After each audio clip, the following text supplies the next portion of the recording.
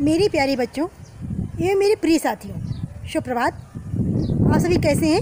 उम्मीद करती हूँ आप सभी बहुत अच्छे होंगे। प्यारे बच्चों, एक व्यक्ति था जिसका नाम था कृष्ण कुमार शुक्ला। तो कृष्ण कुमार शुक्ला ने एक सेमिनार अटेंड किया।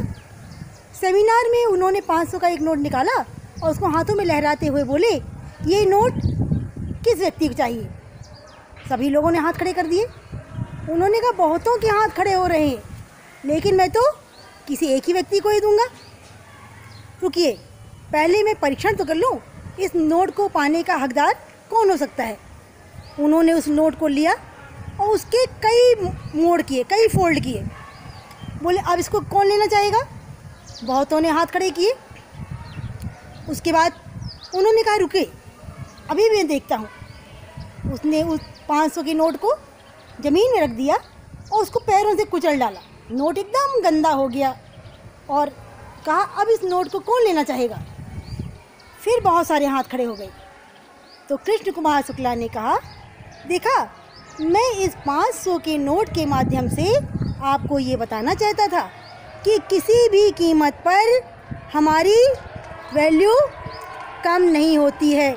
मेरे प्यारे साथियों, मेरे प्यारे मित्रों, जो आपके पास सबसे मूल्यवान चीज़ है, वो क्या है? वो है आपका जीवन।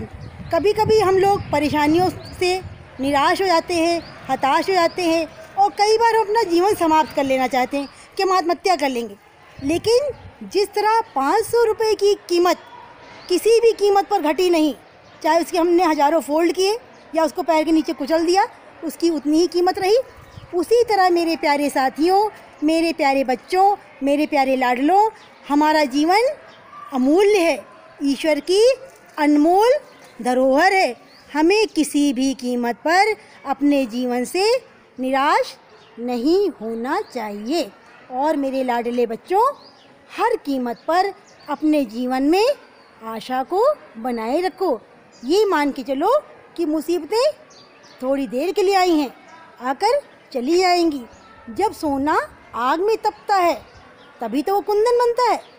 मुसीबतें जो आती हैं, परेशानियाँ जो आती हैं, वो हमें परफेक्ट बनाने के लिए आती हैं अच्छा बनाने के लिए आती हैं। तो अपने जीवन की कीमत समझो और उसका आदर करो। इन्हीं शब्दों के साथ मैं अपनी वाणी को विराम देती हूँ।